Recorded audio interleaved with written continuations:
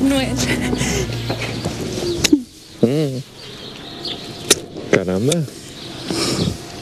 ¿Qué recepción? Bueno, aparte, ¿Aparte? ¿Quiere decir que no fue por las ganas de verme?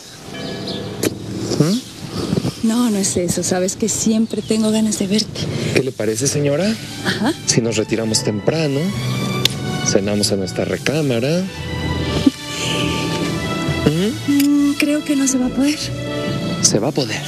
¿Quién manda aquí? ¿Quién manda aquí? Tú. Pero tienes una visita. La hija de tu tía Enriqueta.